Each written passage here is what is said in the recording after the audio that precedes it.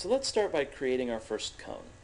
Once we've selected the cone from the palette, you can click on the ground and we'll magically get a cone. And this is where your camera controls are going to come in handy. I'll hold Alt and I'll click and I'll zoom in and look at my cone. Now obviously that cone doesn't look quite like what we want the base of our lamp to look like. So the second thing that we're going to have to learn is how to position and change the shape of a prim.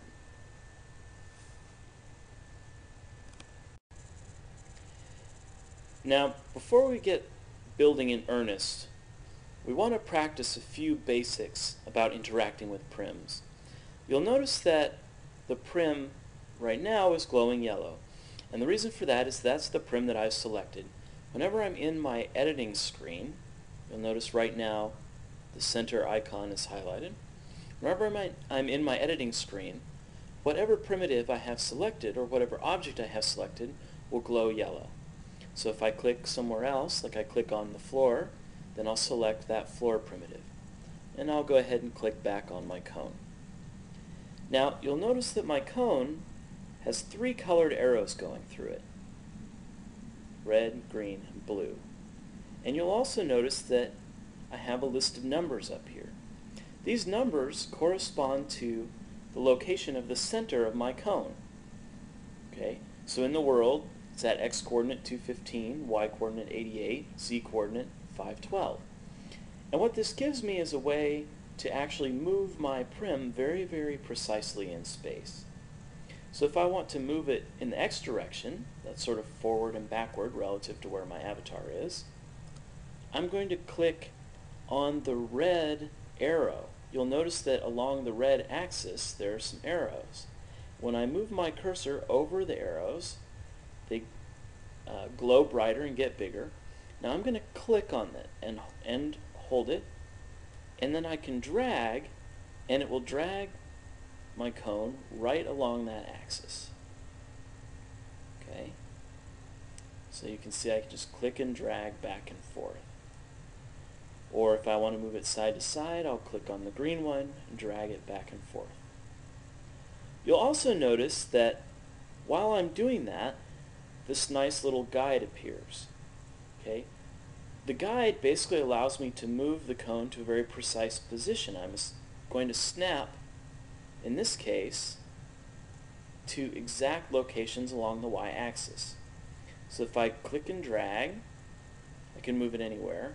If I want to snap to a precise location, I'll move my cursor up until it's in this ruler, and then it'll just move by, in this case, half meter increments.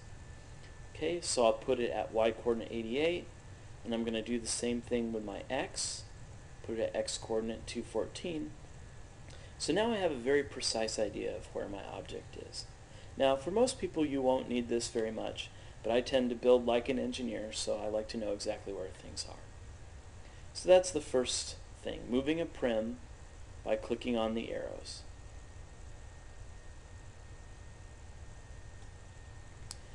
The second thing that you might need to do with a primitive is rotate it. If you want to get the rotation handles, hold the control key. Now you'll notice that what just changed. When I press the control key, I now get three circles centered on my primitive.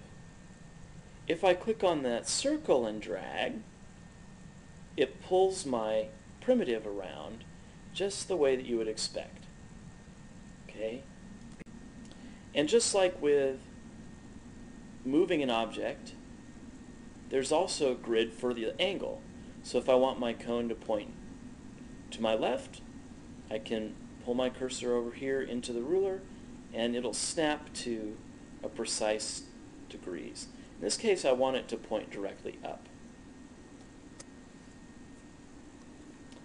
So when it's selected you can move it. When it's selected and you hold control you can rotate it. If you select it and press Control and Shift at the same time, now you can resize the object. Now let's zoom in a bit so that we can see it clearly.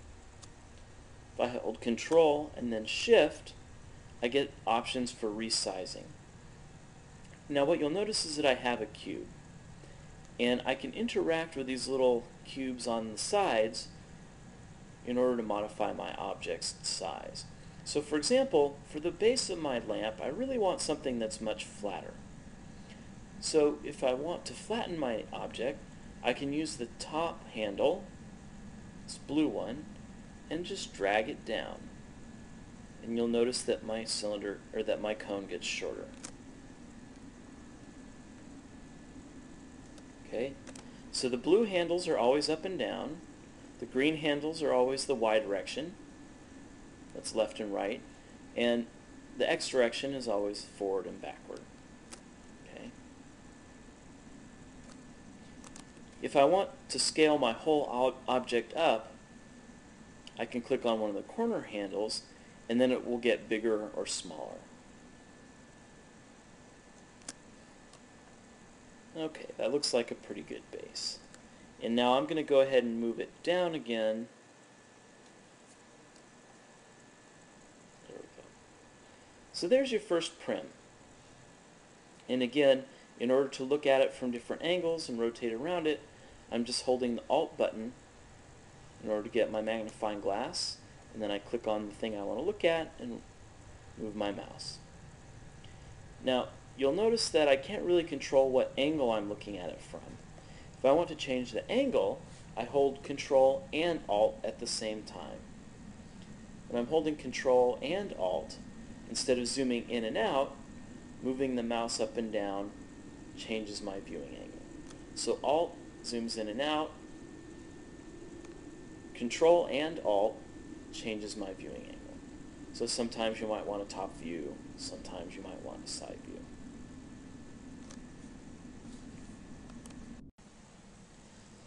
So we have our first prim, and we've got it positioned where we want it. The next thing that we're going to need to do is change it so that it looks more like metal. You can see that by default, every primitive that you create starts with this sort of plywood texture. And again, I'm controlling my camera by holding the Alt button and then clicking with the mouse to look.